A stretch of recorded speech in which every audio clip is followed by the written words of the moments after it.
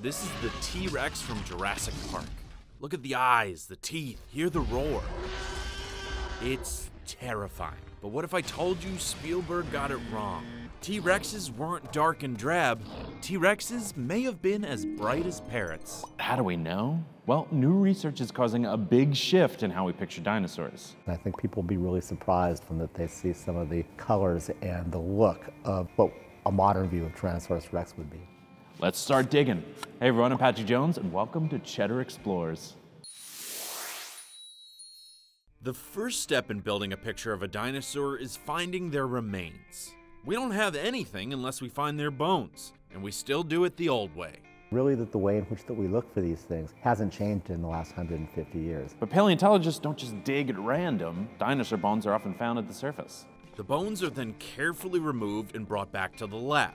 At that point, it's like a puzzle without having the picture on the front of the box to help. Mark shared that at most digs, you'll typically find 10% of an animal or less. And on top of that, of the 1,200 species of non avian dinosaurs discovered, most depictions are based on only one individual find. In order to paint a complete picture of these animals, there are a lot of gaps to fill in. And we have two ways of filling in those gaps. The first is through technology.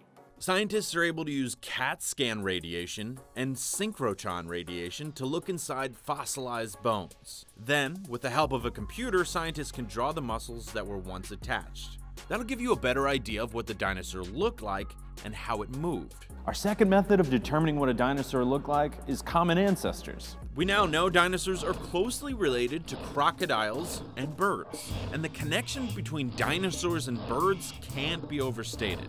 I mean, birds are just as much a type of dinosaur as humans are a primate. So we can study birds and we can understand a lot of things about both dinosaur behavior, dinosaur appearance, dinosaur physiology, and just their biology in general. Meaning a raptor was less of this and more like a flightless version of this.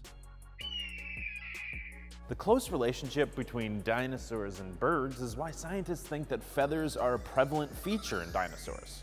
Feathers were found in common ancestors of both dinosaurs and birds, meaning every creature along that branch of the evolutionary tree has had access to that trait. It's a similar rationale for like Australopithecus, like early humans. Nobody's ever found hair on a fossil of like Lucy or anything like that. But chimps have hair and we have hair. And we're descended from the same common ancestor. Hair didn't evolve twice. So we would predict that those animals would have had hair as well. Dinosaurs' close relation to birds also tells us that dinosaurs were brighter in appearance than we thought. So why is that the case? Well, let's look at mammals. Mammals are pretty drab. I mean, that they're brown, they're black, they're that kind of thing. And a lot of that has to do is that mammals don't see in color. Of course, there are a few exceptions like gorillas, chimps, and us. Hello. But the point is, many mammals are drab because there's less of an incentive to be bright. Mammals across the spectrum champion smell, whereas birds prioritize sight. Not only are birds brilliantly colored, they're more brilliantly colored than we think because we just can't see it. Birds can see way into the ultraviolet. And that helps them with camouflage and choosing a mate. The same goes for another living relative of dinosaurs, the reptile. The theory is because birds and reptiles can see in color, so can dinosaurs. But there's even more technical evidence than that. There are organelles in most animals called melanosomes. What they do is store and transport melanin, which is the most common light absorbing pigment in the animal kingdom. The shape of an animal's melanosomes determines what color that animal will be. Now, when we find dinosaur remains, scientists can study the shape of these organelles and compare those results against what we know about animals today, like birds. This finding shows that dinosaurs are brighter than scientists thought. So, how do we know what dinosaurs look like? Well, because we know what birds look like. By the way, in case you're wondering what a dinosaur expert thinks about when watching Jurassic Park, Well, really nothing because I don't see him. but I have no problem with however they want to depict him. It's not supposed to be a documentary. It's not supposed to be scientifically accurate. It's supposed to be entertaining. And if people find it entertaining, go for it. I really don't care if it's scientifically accurate.